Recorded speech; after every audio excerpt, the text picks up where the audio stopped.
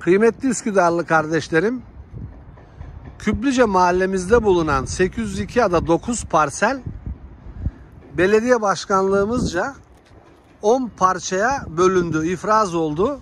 Resmi olması için gün sayıyoruz. Doğara oran, ağaca oran, kümese oran, kömürlüğe oran diye bir şey yok. Sadece ne var?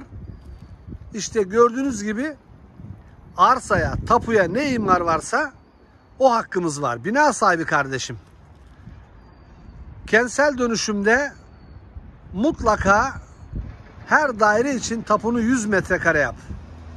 Eksikse tapularınızı tamamlayın. 802 ada 9 parselde yetki belgeleri alıyoruz. Niçin? İnşaat firmalarıyla görüşmek için kimler kentsel dönüşüm istiyor? Hangi alanda ne kadar imza toplamışız bunu bilmemiz lazım. Bugüne kadar yaklaşık 4000 metrekare yetkiyi aldık. Bundan sonra bina sahibi kardeşlerimizle ilgili de çalışmalara başlıyoruz. Hayırlı olsun.